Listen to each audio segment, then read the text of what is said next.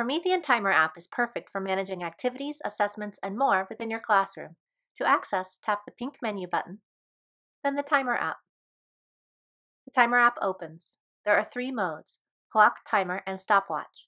Tap whichever title is currently displaying to toggle between the three modes.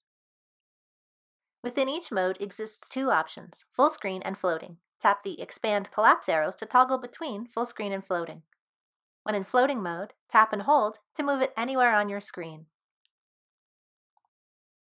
Within the clock, tap the gear to switch between digital and analog. You may also select options such as 24 hours and seconds. Within the timer, choose between presets, including 30 seconds, 1 minute, 10 minutes, or 1 hour, or use the arrows to customize your own timer. Press the Start button to initiate. Use the Pause button to pause and resume the timer, or the Reset button to reset.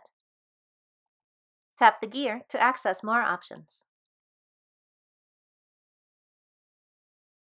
With the stopwatch in use, simply tap the Start button to begin. Use the Pause and Reset buttons as needed. Tap the gear to access a milliseconds option. Regardless of which mode you are in, clock, timer, or stopwatch, simply tap the plus sign to create a new one. You can create and use any combination of up to four clocks, timers, or stopwatches at the same time. This applies to both full screen and floating modes. Tap the X to close each clock, timer, or stopwatch.